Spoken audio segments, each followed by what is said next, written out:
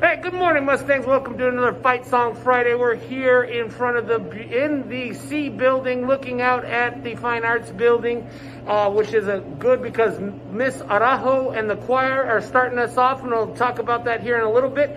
This week we've got our our next upcoming week is Texas Spirit Week with dress up days. So look for that when our Stuco. Another important announcement is please anybody who has not gotten yearbook pictures show up on Saturday the 30th from 7.30 to 3 o'clock and get yourself in that yearbook for uh, your Burges uh, yearbook this year. We're going to start off with our girls soccer. Right now they are 2 and 1. They just coming off a hot win, uh, 1 nothing against Austin on Tuesday, and they play uh, 9 a.m. Saturday at Burges versus Bowie.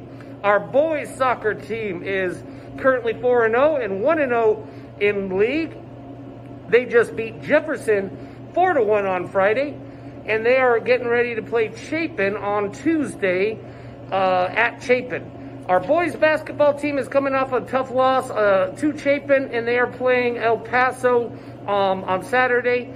Uh, so a good chance to get back on the right track there. And our girls basketball team, unfortunately, is coming off a hard loss to Chapin.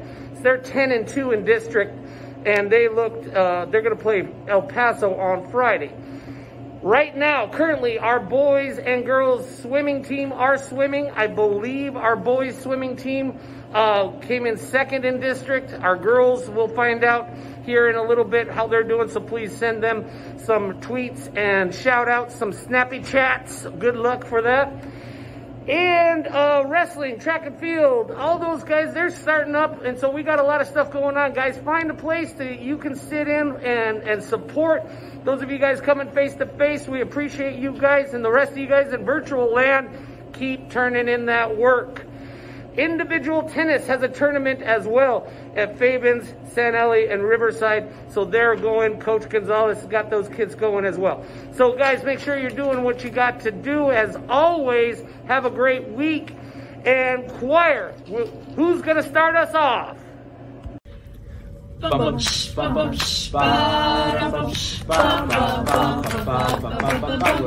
fight right on to victory. We're gonna